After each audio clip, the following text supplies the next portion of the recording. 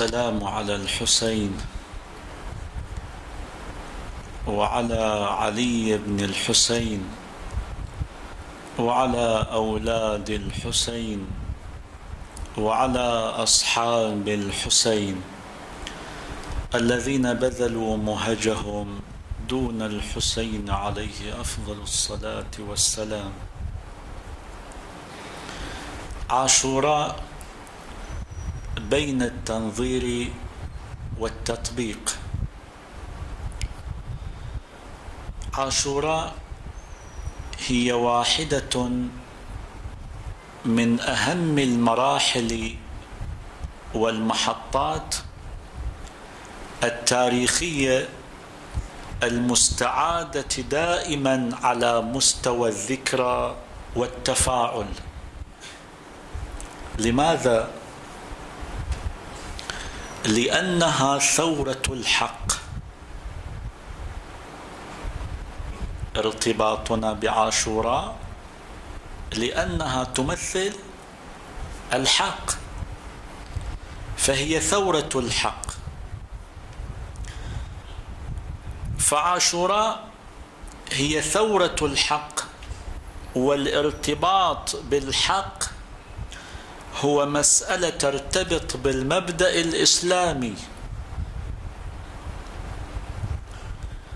الأساس وهو المبدأ في كل الرسالات السماوية.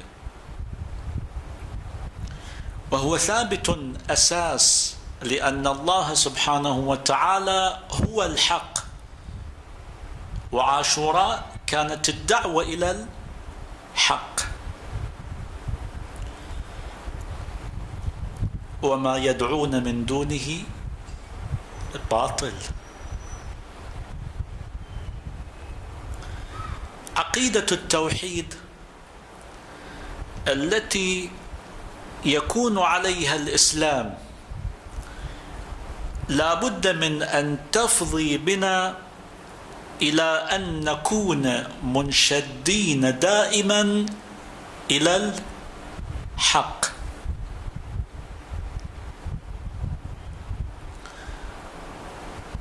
في كل قول وفعل وفي كل منهج وسلوك عملي. في هذه الحياة فليست فالحق ليس شعارا في الهواء نطلقه.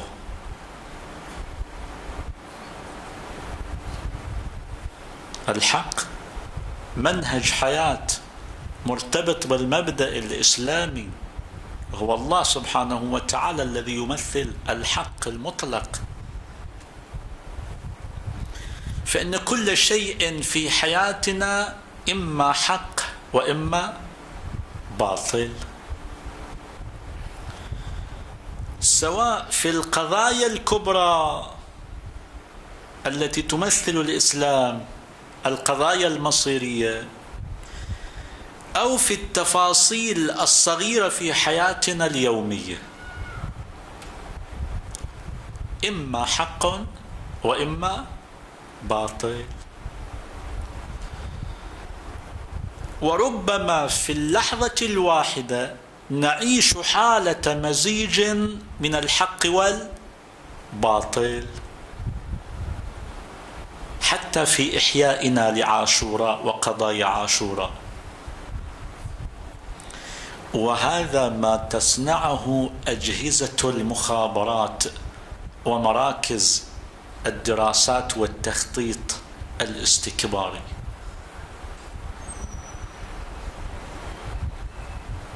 أنت تحيي عاشوراء ولكن بالطريقة التي يريدها الاستكبار. حتى يفرغ عاشوراء من محتواها ومن أهدافها الحقيقية تحيي عاشوراء. فلن استكبار منعك من إحياء عاشوراء ولا استطعت أن تحيي عاشوراء على حقيقتها. فهذا مزيج بين الحق والباطل. وقد اشتهرت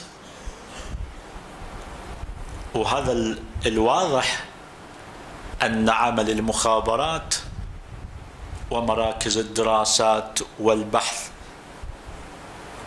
الاستكباري إنما يريدون أن يزجوا الفتن بين الناس حتى يلتبس الحق مع الباطل ويمتزج.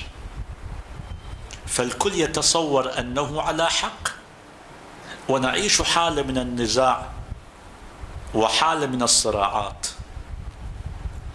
فالذي يفرغ عاشوراء من محتواها يدعي أنه على الحق. والذي يطالب بتحقيق أهداف عاشوراء على أرض الواقع أن تكن هذه الأهداف متحركة أيضا يدعي على أن هذا هو الحق. وقد اشتهرت في التاريخ كلمة أو عبارة كلمة حق يراد بها باطل. ما معنى هذه الكلمة؟ كثيرا ما نتحدث في خطاباتنا وكثيرا ما نعيش في حياتنا اليومية مصاديق لهذه العبارة. كلمة حق يراد بها باطل. ومعنى ذلك أن الشيء الواحد قد تنظر إليه من زاوية على أنه يمثل الحق. ولكنك عندما ترى كيف تتفاعل هذه الكلمة أو كيف يتفاعل هذا الموقف في الواقع تجده يمهد الطريق من أجل سبل الباطل. وتمكين الباطل فإنك تجد أنه يمهد الطريق أمام كل باطل. لينتقل بالحق وليزيحه من ساحته.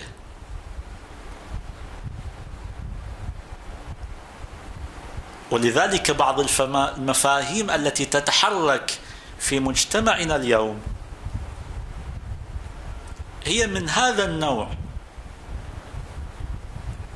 كلمة حق يراد بها باطل. قد يفرغ عاشوراء من محتواها تحت عناوين الوحدة وتحت عناوين المحافظة على النسيج الاجتماعي وتحت عناوين دفع الضرر عن عن المراسم الحسينية. فهذه كلمات حق لكن أريد بها تفريغ محتوى عاشوراء الحقيقي الفعل التي يريدها الإمام سلام الله عليه أن يعيشها الناس. لذلك ليست أحقية الحق في البعد النظري. لذلك نحن لا نختلف أن عاشوراء للإسلام أن عاشوراء للوحدة أن عاشوراء للإرادة. لا نختلف في عناوين الحق. لا نختلف أن عاشوراء من أجل رص الصفوف من أجل وحدة الكلمة. هذه العناوين عناوين حق. ولا نختلف في البعد النظري في هذه العناوين. وين الخلل؟ عاشوراء بين التنظير والتطبيق. لأن المسألة مرتبطة بعناصر أخرى. إذا ما أردنا أن نتحدث عن الحق على أرض الواقع ومسرح الحياة. وما نعيشه من الواقع نجد أننا نعيش مشكلة أننا لا نعيش مشكلة في عناوين الحق على المستوى الفكري على المستوى الأخلاقي على المستوى السياسي على المستوى الاجتماعي. نتفق على المستوى النظري. فعندما نتحدث عن الوحدة السيد ولي أمر المسلمين السيد علي الخامنئي القائد عندما يتحدث عن الوحدة يقول الوحدة هي الالتقاء في الثوابت المشتركة. الالتقاء والتأكيد على الثوابت المشتركة. فليست الوحدة تعني أننا ألغيك كقوة سياسية كحركة اجتماعية كرؤية فكرية. لك حق أن تقول كلمتك أن تقول رأيك. لذلك هذه العناوين عندما تأتي إلى أرض الواقع تجد أن هذه العناوين مخالفة تماما للمفاهيم القرآنية. الإسلام يدعو القرآن يدعو. أهل البيت عليهم السلام في تراثهم الزخم من الأحاديث والروايات. دعوا كثيرا وابدا خصوصا في القضايا المصيرية على إشراك الناس وإشراك الأمة. النبي الأكرم صلى الله عليه وآله وسلم في غزوة أحد. النبي الذي لا يصدر عنه إن هو إلا وحي يوحى. كان رأيه أن تكون معركة أحد على أطراف المدينة. شوفوا الفارق ما بين أحد آخر يتكلم وما بين النبي صلى الله عليه وآله يتكلم. النبي صلى الله عليه وآله وسلم لم يفرض رأيه وهو رأي السماء رأي الله سبحانه وتعالى. في غزوة أحد كان رأيه أن تكون المعركة على أطراف المدينة. بينما الأصحاب أجمعوا على أن المعركة تكون في جبل أحد. وأخذ برأيهم. لأنهم أجمعوا. لكن تبين بعد ذلك أن رأي النبي صلوات الله وسلامه عليه على أن رأيه هو الصواب. هذا هو الفرق ما بين إنسان ما دون المعصوم يتكلم وما بين المعصوم إذا تكلم. المعصوم لم يفرض رأيه على الناس فكيف بما دونه؟ فمن حق الناس أن تناقشه وتناقش مشروعاته تتدارس مشروعاته. كما لها الحق أن تطرح مشروعات الأمة أيضا.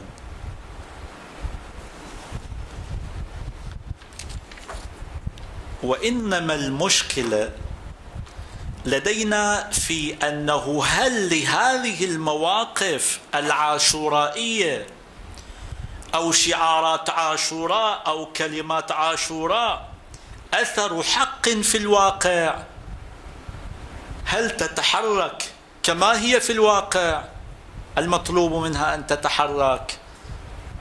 أو لا هناك عناوين نظرية عندما نتحدث على البعد النظري نجد مفارقة كبيرة بين العنوان المتحرك على المستوى النظري وبين العنوان المتحرك في أرض الواقع.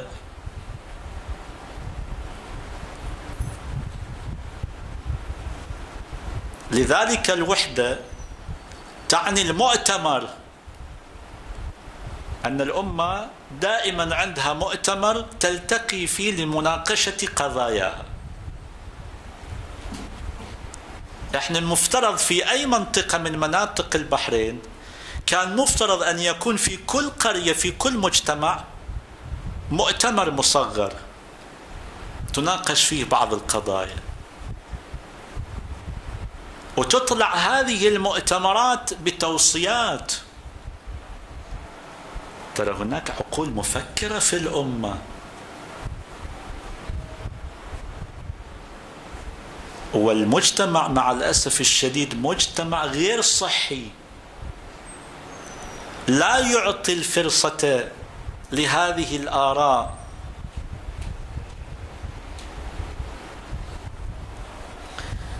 أو أنها عندما تنزل إلى أرض الواقع هذه المواقف العاشورائية أو كلمة عاشوراء أو شعارات عاشوراء أو تنزل إلى أرض الواقع عندما تنزل إلى أرض الواقع فإنها تتحرك في كل سبل الضلال.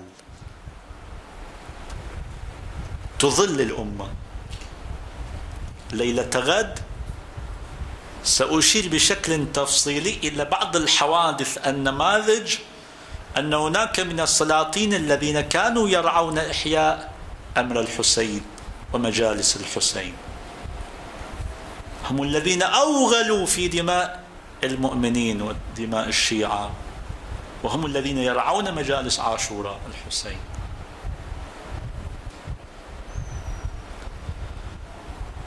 والتحريف وتأخذ بكل أساليب الباطل وتتحرك في كل خط يصطدم بمعنى الخير والحق في حياة الناس. مسلم بن عقيل عليه السلام مثال وأنموذج للحق. بعض النصوص بعض المصادر تنقل على أن من بايع مسلم بن عقيل ثمانية عشر ألف. هذا أقل رقم في في مصادر التاريخ. ينقلها صاحب تذكرة الخواص وتاريخ الطبري. 18 ألف. الذين بايعوا مسلم بن عقيل. وبعض المصادر مثل ابن نما أو ابن شهر آشوب بعضهم قال خمسة وعشرون ألف وبعضهم قال أربعون ألف وبعضهم قال خمسة وأربعون ألف ممن بايع مسلم بن عقيل. عندما نزل إلى إلى الكوفة واختار دار أبو عبيدة الثقفي ليكون له مقرا لمبايعة الشيعة له لاحظوا السيد الولي الخامنئي في كتابه دروس الدروس العظيمة من سيرة أهل البيت عليهم السلام ينقل هذا ينقل الحادثة وهو يتكلم عن مسلم بن عقيل. إذا تأذنون لي بس أخذ من وقتكم. يقول فأنتم إذا نظرتم إلى الكوفة فإن ما جرى في الكوفة لا بد أنكم سمعتموه من خذلانهم. ترون أن الذين كتبوا الرسائل أرسل الإمام سلام الله عليه إليهم مسلم بن عقيل وقال لهم هذا رسولي إليكم. مو أي شخص يتحدث. الإمام الحسين بشخصه يتكلم في كتابه. وعندما يخبرني بأن الوضع أصبح مناسبا فسآتي إليكم بنفسي. حضر مسلم إلى الكوفة ونزل في بيوت أعيان الشيعة وكبرائهم. هذا الذي يتكلم عن عن الكبار ويتكلم عن كلهم ضد الشباب. تفضل. هذا السيد قد يتحدث عن الكبار. في بيوت أعيان الشيعة وكبرائهم وقرأ لهم رسالة الإمام فجاء الناس جماعات جماعات وأظهروا الولاء والعزم للوقوف مع مسلم بن عقيل. حينما كان والي الكوفة النعمان بن البشير وهو شخص ضعيف يردد بأني لا أقاتل شخصا طالما أنه لم يقاتلني ولذا لم يعترض. هذا والي الكوفة لم يعترض على مسلم بن عقيل. الناس رأوا أن الساحة مفتوحة أمامهم. حالة سلم. ما في حالة ترهيب ما في سجون ما في اعتقالات. بالتالي شوف الناس جماعات. بالآلاف يبايعون مسلم ابن عقيل. فذهبوا إلى مسلم ابن عقيل وبايعوه لكن اثنين أو ثلاثة من خواص الباطل مخابرات. إلى ابن زياد. الواقفين مع بني أمية كتبوا إلى يزيد إذا كنت تريد أن تكون الكوفة ملكا لك فيجب أن ترسل إليها شخصا قويا قاهرا. شخص واحد بس كافي. يبث الرعب في نفوس في, في الداخل من أعماقهم لتهزم الإرادة من الداخل. فإذا هزمت الإرادة من الداخل هزموا من الخارج. فطلب يزيد بن عبيد الله بن زياد والي البصرة أن يتوجه إلى الكوفة ليحكمها مع حفظ منصبه الأول. فخرج عبيد الله بن زياد بشكل فردي إلى البصرة. انتو عاد هني أسقطوا على أرض الواقع. الناس الذين انسحبوا من المسيرات المرخصة هذه الآلاف شو ال ال ما هو السبب؟ الذي انسحبوا من عند مسلم بن عقيل هو نفس السبب الذي انسحبوا من الساحات. الآن في هذه فخرج عبيد الله بن زياد بشكل فردي لوحده فقط. من البصرة إلى الكوفة ملثم الوجه. الآن في هذه القضية يتضح دور الخواص اللي يسمون أنفسهم النخبة واللي يسمون أنفسهم الرموز واللي يسمون أنفسهم الآن يتضح ما هو دورهم. ووصلها ليلا. أما أهل الكوفة الذين كانوا من بين فئات العوام غير القادرين على التحليل فبمجرد أن رأوا شخصا مع خيله وأغراضه فضلا عن كونه ملثما ظنوا أنه الإمام الحسين راحوا بايعوه فيطلع معاوية من سيارته بس يفرج عن المعتقلين ويرجع المبعدين ويسوي بعض الإصلاحات والتسويات كذا وتنطلع على عامة الناس. احذروا سيأتي هذا الوقت. احذروا.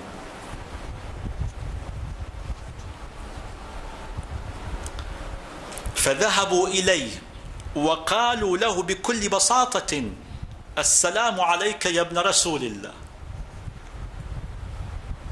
سذاجة الناس الذين يقبلون بالفتات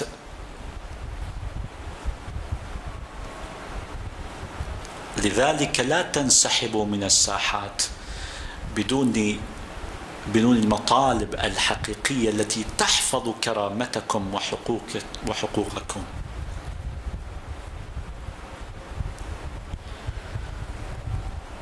هذه خاصية الشخص العامي حيث يتصرف بهذا الشكل.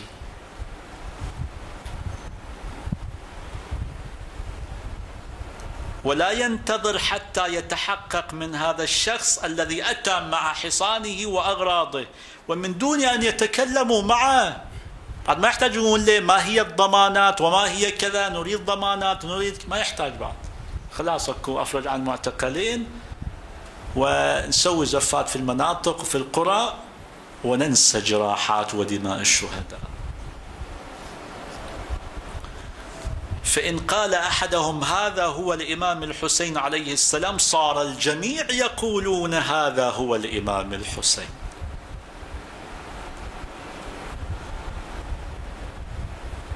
فإذا صار في مطلب وبيحقق لنا هذا المطلب قالوا الناس كلهم يلا خلاص ما دام حقق بيحقق المطلب إحنا بعد مع الوعود.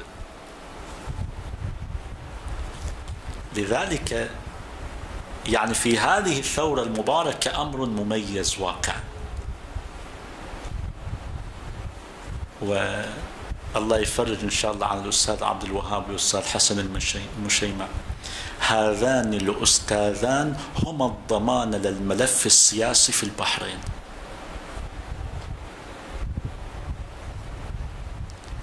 لن يتنازلوا لن يتخلوا عن مطلب الجمهورية. وإذا تمت التسويات من وراء أظهرهم سيستثمرون هذه التسويات ويعلنوا مجددا حقهم في اختيار النظام الذي يريدونه ويرتؤونه لصالح الناس.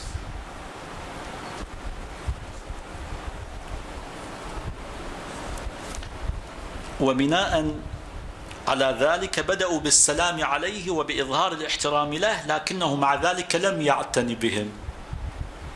خلاص ما دام صفقوا إلى انتهى الموضوع. وتوجه نحو دار الخلافة وعرف عن نفسه ودخل. من هنا بدأت المواجهة مع مسلم ابن عقيل. لاحظوا السيد. حيث كان جوهر عمله هو أن يضع الموالين لمسلم بن عقيل تحت التعذيب والتهديد. اعتقلوا القيادات ورموز خط الممانعة الذين يرفضون الأمة بروح الثورة ويفصلوا بين القواعد الشعبية بين قواعدهم وبين كونهم قيادات لهذه القواعد وبالتالي بعض ال الذين يعتقلونه من النشطاء والحركيين 15 سنة و20 سنة ومؤبد هذا كله زيف لكن من أجل شنو؟ الغاية ما هي؟ تخويف الناس. ومع أن ما كان ينبغي أن يبقى المعتقلون إلى مثل هذا الوضع إلى مثل هذا اليوم بعد أربع سنوات. ما كان ينبغي. لذلك مسلم بن عقيل تفرد به ابن زياد. فجلب ابن عروة إلى دار الخلافة بالغدر والمكر مثل معاوية الذي غدر بنا ومكر بنا. ومن ثم قام بتعذيبه وجرحه. وعندما اجتمع الناس حول دار الخلافة يطالبون بهانئ بن عروة ما الذي حصل؟ حتى يطالبوا بإخراج هانئ بن عروة استطاع أن يفرقهم بالحيلة والمكر بسبب سذاجتهم. وعدهم طمن يعني طمنهم على أن مسلم هانئ بن عروة لم يجرح ولم يقتل. فصدقوا كلامه كما صدقنا كلامه.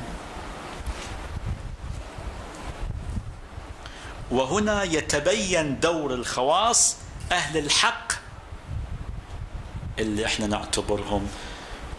يعني البعض نعتبره رمز ويتحدث أمام الناس يعتلي المنصات وكذا.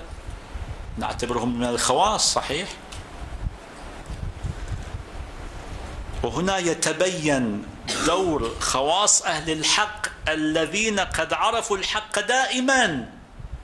دائما هم عرفوا الحق وثاروا لأجله ولكنهم كانوا دائما يرجحون دنياهم.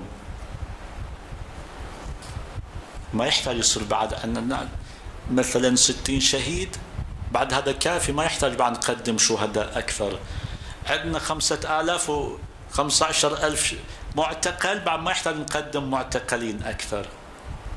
دائما ينظر إلى الحالة أو الزاوية الأخرى التي فيها يعني آه، فيها نوع من الميلان إلى الدنيا وزخارف الدنيا والتعلق بالدنيا. خلينا نمشي الأوضاع وننتظر الفرج نحط إيدنا على خدنا وننتظر الفرج. ولكنهم كانوا دائما يرجحون الدنيا. شوفوا السيد الخامنئي شو يقول. يقول هؤلاء خواص أهل الحق ثاروا لأجله لكنهم في بعض المواقف يرجحون دنياهم. السيارات الفارهة الدفاع المستميت. لتقاعد النواب. أما في ساعة المحنة وفي ساعة الشدة لا ترى أحدا في الساحات.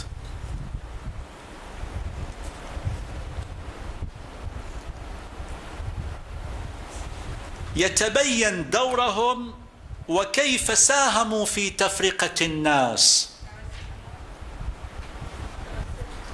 بحققوا مطالبكم وأوصلنا الرسالة تفرقوا.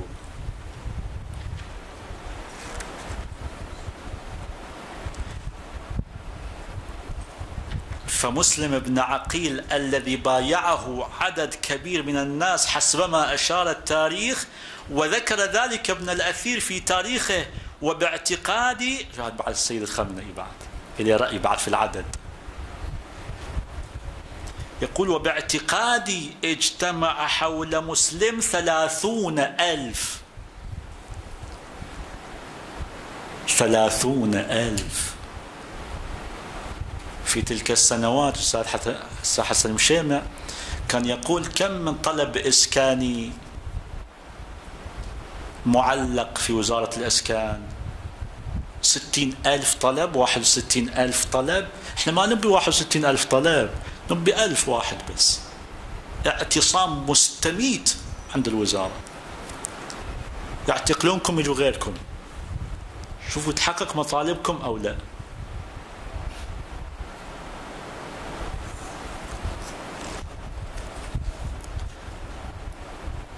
وباعتقادي اجتمع حول مسلم ثلاثون ألفا وكان يكفيه وقوف ثلاثة أو أربعة آلاف رجل مو ثلاثين ألف. تكفي ثلاثة آلاف أو أربعة آلاف رجل فقط معه. في ذلك الزقاق الذي حوصر فيه حتى يغيروا ما حصل في يوم التاسع من ذي الحجة حينما قتل واغتيل مسلم ابن عقيل. لكن العمل الذي قام به ابن زياد تمثل بإرسال مجموعة من خواص أهل الحق. يقدمون إليك بعض رجال الدين المسموعة كلمتهم ليطلبوا من الناس الانسحاب من الساحات. وتحت عناوين الحق باسم الحكمة وباسم الشرعية وباسم كذا وكذا. حتى يخيفوهم. عندهم جيش درع الجزيرة عندهم كذا وكذا عندهم سلاح. أنتم شنو عندكم؟ يخوفهم يستضعفهم في أنفسهم. ليخيفوا الأمهات والآباء. ولدي أنت لا تطلع المسيرة يمكن يصيدك شيء. أخاف عليك أنت بعد. أنتين أحن اليه من الإمام الحسين؟ أحن اليه من الله تبارك وتعالى الذي أمره بنصرة الحق؟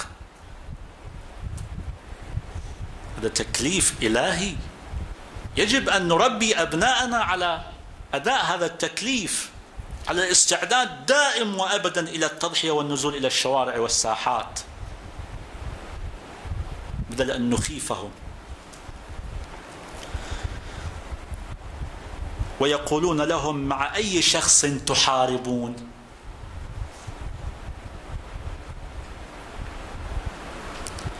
ولم تقاتلون؟ الآن الساحة ما فيها أحد. أنتم عدد قليل. وش بتقدرون تسوون؟ مو هذا اللي تسمعونه في هذه الأيام؟ هذه الكلمات التي نسمعها دائما. من أجل ماذا؟ من أجل أن تنطفئ شعلة الثورة المتقدة في نفوس بقية الشباب. ولولاهم بلطف الله سبحانه وتعالى لما قامت الثورة أصلا ولما استمرت إلى هذا الوقت أصلا. لكن لطف الله سبحانه وتعالى. ارجعوا هؤلاء سيقضون عليكم. سيد كان يتحدث عن واقعنا. صحيح؟ هذا يزيد وهذا ابن زياد. هؤلاء بني أمية الذين تريدون أن تقاتلوهم يملكون المال كما يملكون السيف والصوت. فما الذي يملكه مسلم بن عقيل؟ والحسين عليه السلام. وعلما أنهم لا يملكون شيئا. الحسين لا يملك شيء. ولذلك قتل. سلام الله عليه. مسلم بن عقيل لم يملك شيء. قتل. وبالرغم من ذلك أخافوا الناس وفرقوهم. وفي الليلة الأخيرة عندما حان وقت صلاة العشاء لم يكن أي شخص مع مسلم بن عقيل. يصيرون هؤلاء الثلاثين ألف هم الحق. ومسلم بن عقيل رسول الإمام الحسين هو الباطل ليتخلوا عن نصرة الحق. ولو كان مسلم اليوم موجود وموجود مسلم شبابنا المطاردين مشردين وذهب ابن زياد إلى مسجد الكوفة ونادى في الناس أنه يجب أن يحضروا ليصلوا صلاة العشاء في المسجد بإمامته. بعد مو ينسحبوا من مسلم بن عقيل يصلوا بإمامته بعد تفضل.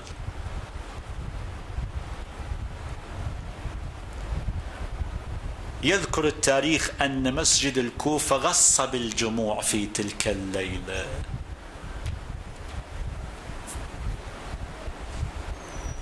ولماذا وصل الأمر إلى هذا الوضع؟ هو تساؤل السيد القائد.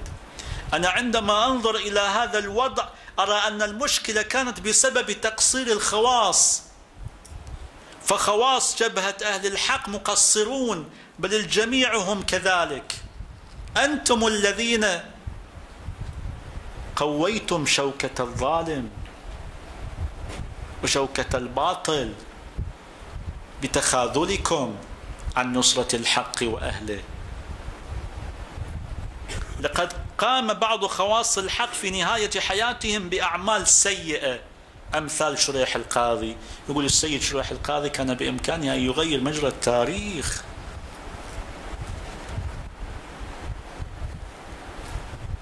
يقول السيد كان يكفي فقط قبيلة هانئ بن عروة. لو استمروا في وقوفهم ومطالبتهم عند دار الخلافة ليخرجوا هانئ بن عروة لأخرجوه. لكنهم فضلوا الانسحاب بسبب تصديقهم لابن زياد. وهذه هي المشكلة تقع هنا. فعندما نريد أن نطبق مفاهيم عاشوراء ومواقف عاشوراء ينبغي أن نلحظ أن هناك من خواص أهل الحق هم الذين يقفون حجر العثرة الفاصل بين تنظيرنا لعاشوراء وتطبيقنا لمفاهيم عاشوراء. ولا ينبغي أن نقف عند هذه الثغرة ينبغي أن نصلحها بالحكمة والموعظة الحسنة وأن نفرض رؤيتنا. بالحكمة والموعظة الحسنة.